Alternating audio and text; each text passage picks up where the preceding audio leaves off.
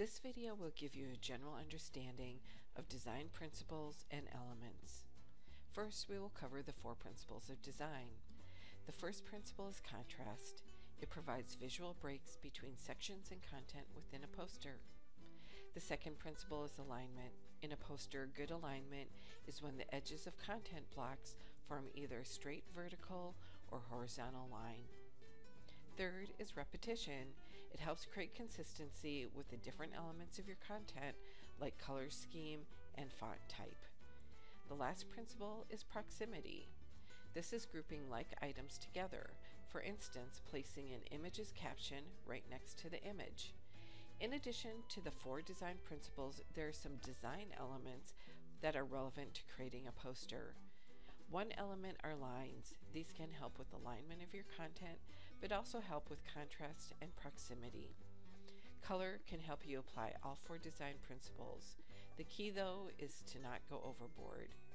Space is another element that is very important to your poster design as it enhances readability. Size is a good way to create distinction between content. The use of color can make or break a poster. For a poster, color scheme of two to three colors works well. In addition to primary and secondary colors, consider tertiary colors. For a color scheme, consider the meaning or emotions a color evokes. For instance, yellow conveys energy and happiness, whereas blue conveys water and tranquility. Also think about color relationships.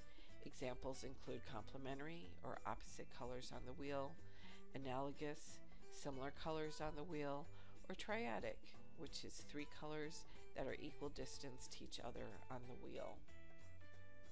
Another component of design is font. Use a standard font like Helvetica, Arial, or Times New Roman.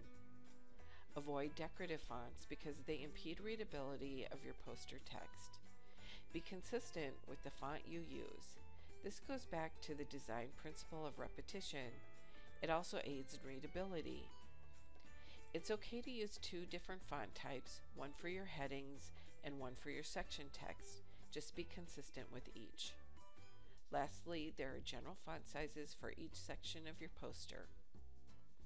Images are an important element of a quality poster. Most people prefer visual elements, and utilizing images will help engage your audience. It is important to make sure your images are related to the poster content and section text. Images you use should be consistent with and complement the overall design of the poster. Make sure you give credit to the photographer or creator. You can do this by using a photo credit or image by in the image's caption. Use a minimum resolution of 300 dpi or dots per inch. The higher the resolution, the better. Lastly, you want to be using larger dimension images that are at least 1200 by 600 pixels. There will be less distortion if you need to make the image larger. Make sure you are using images legally. If you're using an ISU logo, get the official logos on the University Marketing website. When searching for images, utilize the Creative Commons filter. Creative Commons is a digital licensing structure that designates appropriate use. Google Images and Flickr have these filters available. Search for images that are licensed for reuse. Consider looking at government websites. In the US, government content for the most part is public domain. Another option is to use stock photos from copyright free or public domain websites. Here are three recommended sites.